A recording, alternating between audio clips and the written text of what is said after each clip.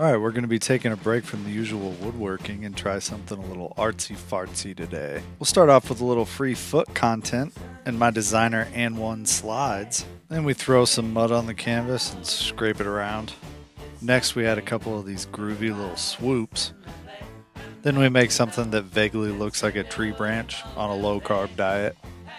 Throw some leaves on there and make it look like Nick Cannon's family tree. Then we ignore the first color that I put on there because it was hideous, and we come back and paint this color. And then we go back to the hideous color because I don't know what I'm doing. Throw some green in there because why not? And then we go back to my wheelhouse of woodworking so that I can make a frame for this. Put the thing in the frame.